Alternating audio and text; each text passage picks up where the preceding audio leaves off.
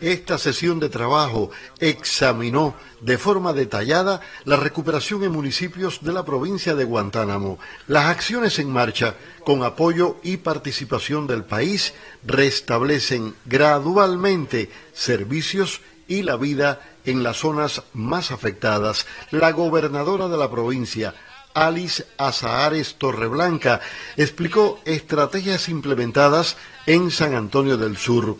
En las últimas horas, brigadas de ETEXA han logrado llevar a ese territorio tecnologías y equipamientos para facilitar la información y la comunicación social a la población en el presente escenario.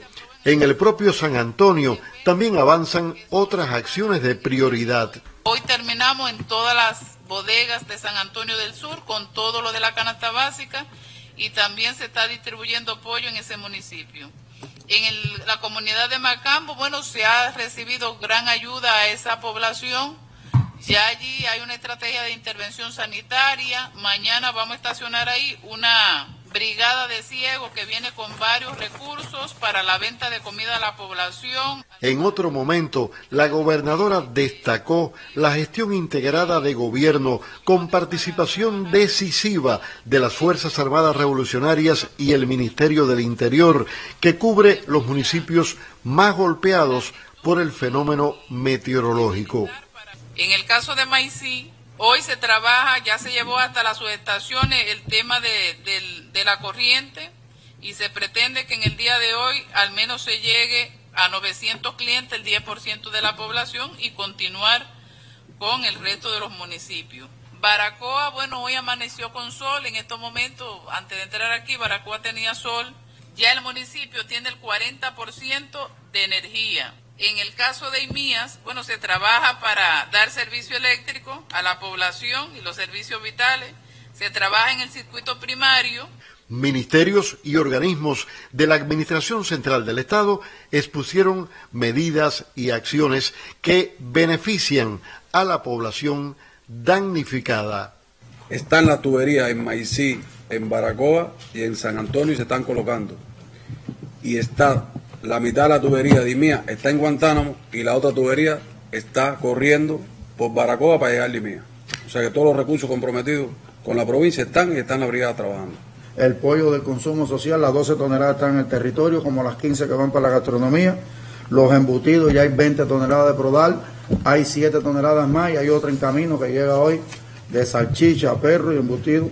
Además hay 3 toneladas de productos de chocolatería que están a disposición del Consejo también, que puedan definir dónde lo van a, a ver. Está en proceso de elaboración las 30 toneladas de galletas de soda y las 20 toneladas de galletas dulces, ya hay 26 toneladas producidas, ya salen hoy.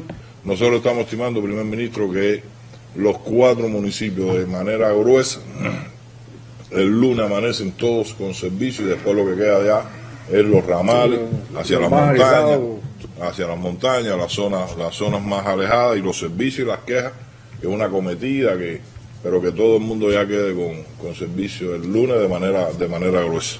Hoy llegan directo a Aracoa desde Santiago de Cuba 2000, eh, 2000 tejas de zinc, van a llegar eh, también mil, mil purling de tiro directo desde Santiago a Baracoa.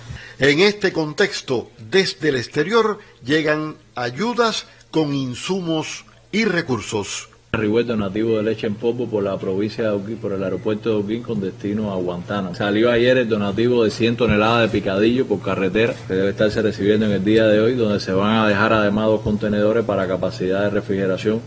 Más adelante, el primer secretario del Comité Provincial del Partido en Holguín, Joel Keipo Ruiz, informó sobre las incidencias de las lluvias en el norte oriental de esa provincia y de las medidas implementadas en MOA para facilitar el tráfico de cargas y de recursos hacia municipios guantanameros. Hay un tráfico amplio por ese lugar, se ha asegurado que hay eh, reaprovisionamiento de, la, de los transportes que llegan más lejos de, de aquí de la provincia para reprovisionarlo ahí, eso se ha asegurado, hay un intenso tráfico.